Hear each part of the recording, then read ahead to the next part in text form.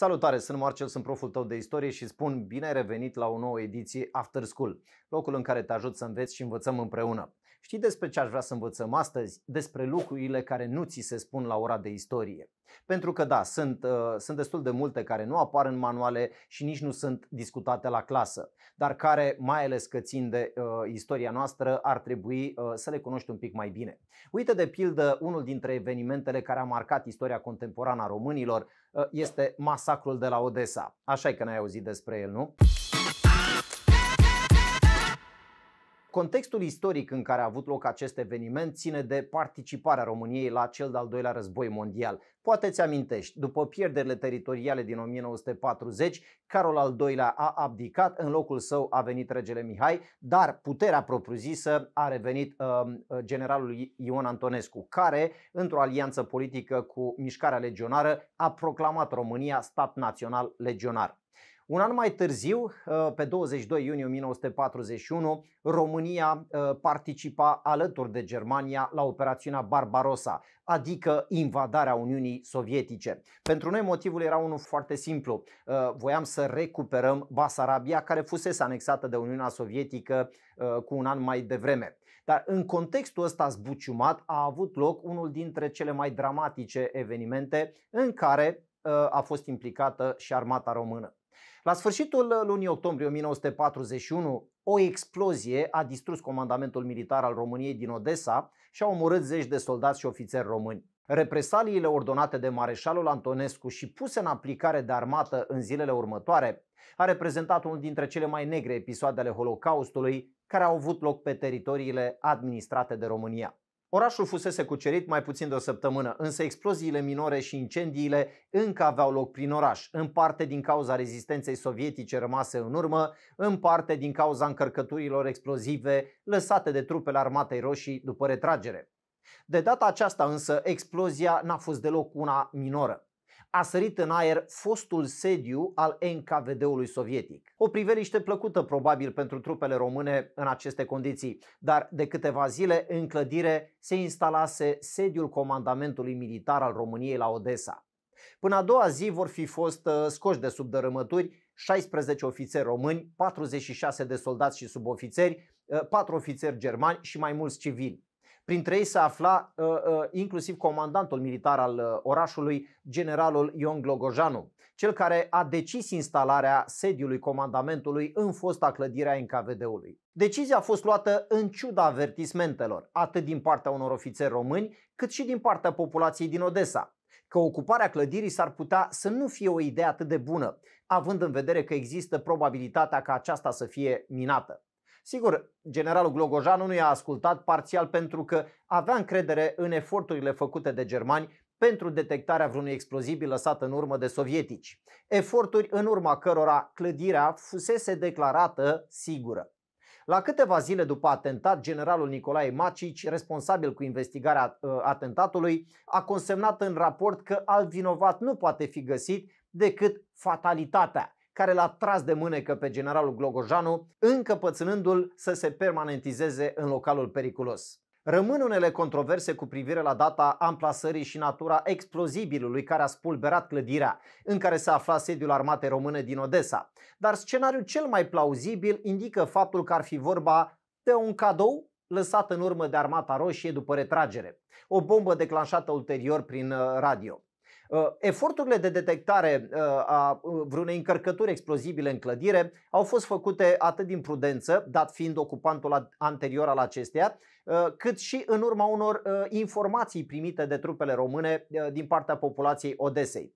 De altfel, mai multe surse indică faptul că cel puțin încă o dată înainte de explozie, ofițerii și soldații români evacuaseră pentru puțin timp clădirea după ce au fost avertizați că va exploda. Oricare ar fi fost modalitatea de dinamitare a comandamentului, la puțin timp după ora 17.45, Ion Antonescu era informat la București de explozie. Încă nu știa amploarea exactă a dezastrului. Chiar și înainte de atentat, Odessa uh, s-a dovedit pentru România un adevărat coșmar militar. Semnele lipsei de capacitate armatei române de a face față de una singură unei campanii militare complexe s-au arătat deja din timpul operațiunii München, unde aportul armatei a 11-a germană a fost decisiv pentru cucerirea Basarabiei. Cu toate acestea, Antonescu a insistat ca Odessa să fie atacată doar de forțele române. Calculul era în principal unul politic. În toamna anului 1941, victoria germană părea foarte probabilă, iar dovada sacrificiului trupelor române ar fi fost o carte importantă pe care Antonescu o putea juca în fața lui Hitler pentru recuperarea nordului Ardealului. Sigur, aici trebuie să luăm în considerare și orgoliul lui Antonescu, care a ieșit la iveală mai ales în fața greutăților întâmpinate de armată în timpul asediului, când cucerirea orașului devenise o problemă de prestigiu pentru care se vor face sacrificii enorme. Până pe 16 octombrie, când retragerea sovietică a permis primelor trupe române să intre pe străzile orașului, armata a patra României, principala forță implicată în asediul Odesei, a pierdut aproape 100.000 de soldați. 17.000 care au murit, vreo 63.000 care au fost răniți și alți 11.400 și ceva care au fost dați dispăruți. Pierderile erau fără precedent pentru forțele române în cadrul unei operațiuni de cucerire a unui oraș rămas oricum în spatele frontului principal al războiului care înaintase mult în teritoriul sovietic. Primul ordin al lui Antonescu, dat la două ore după atentat, a vizat mutarea comandamentului într-o locație sigură și formula vagă să se ia drastice măsuri de represalii. Generalul Iacobici uh, răspunde în cursul nopții printr-o telegramă în care spunea că pentru a da un exemplu populației s-au luat măsuri, uh, s-au spânzurat în piețele publice un număr de evrei și comuniști suspecți. Există, ă, sigur, o serie de controverse printre istorici cu privire la această etapă a represaliilor. O primă controversă o vizează numărul de persoane executate de armată ca represalii în cursul nopții și în dimineața zilei de 23 octombrie. Numărul variază de la câteva sute până la 5.000 ă, de persoane. O a doua controversă o vizează identitatea acestor persoane, fie comuniști din structurile de conducere sovietice ale Odesei înainte de cucerire, arestați deja de trupele române, ori evrei nevinovați. A doua zi, pe 23 octombrie, la ora 12.45, a venit și al doilea ordin dat de mareșalul Antonescu cu privire la represaliile pe care armata română trebuia să le pună în practică ca răspuns la explozia de la comandament. Deoarece este aproape sigur că acțiunea de la Odessa a fost pusă de către comuniștii locali și pentru a se înlătura pe viitor o asemenea acțiune, Domnul Mareșal scrie în misiva primită de militarii de la Odessa, ordonă să se treacă la represalii severe astfel.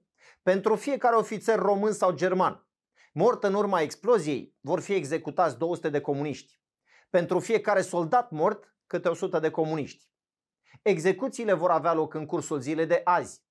Toți comuniștii din Odessa vor fi luați ca ostatici, de asemenea câte un membru de uh, fiecare familie evrească li se vor aduce la cunoștință represaliile ordonate în vederea lor și a familiilor lor, că la al doilea act asemănător vor fi toți executați. Ordinul a fost pus în aplicare în următoarele ore. Miile de persoane vizate de ordinul lui Antonescu fiind strânse în diferite locații din oraș.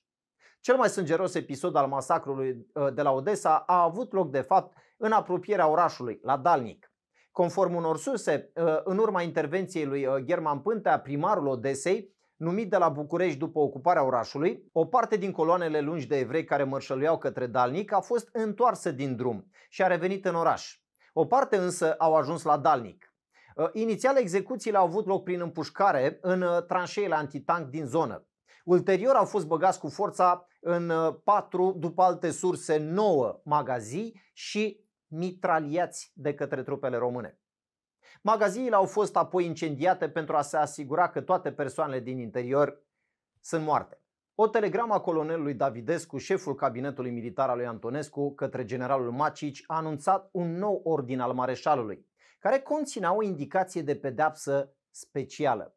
Drept uh, represalii, domnul mareșal Antonescu ordonă executarea tuturor evreilor din Basarabia refugiați la Odessa. Toți indivizii care intră în prevederile Ordinului 3161 din 23 octombrie 1941, care nu au fost încă executați, precum și alții ce li se pot adăuga, vor fi puși într-o clădire minată anterior și care va fi detonată. Se va efectua această acțiune în ziua înhumării victimelor noastre, se spune în documentul respectiv. Acest ordin va fi distrus după ce va fi fost citit.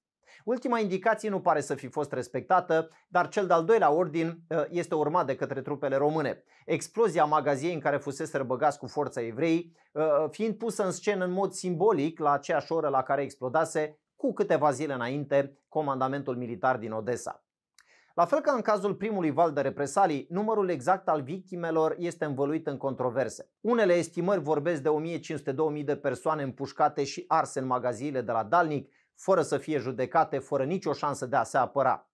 Uh, alte surse pun numărul victimelor totale ale represaliilor făcute de armata română la aproximativ 20.000 de persoane ucise, cifră menționată și în cadrul procesului generalului Macici din 1945. Limita superioară a acestor estimări ajunge chiar la 40.000 de persoane ucise. Faptul că cifra exactă nu a fost niciodată cunoscută cu exactitate, cel mai probabil se uh, datorează în mare parte mareșalului Antonescu, care nu a depus niciun efort în vederea clarificării amplorii pe care au luat-o represaliile ordonate.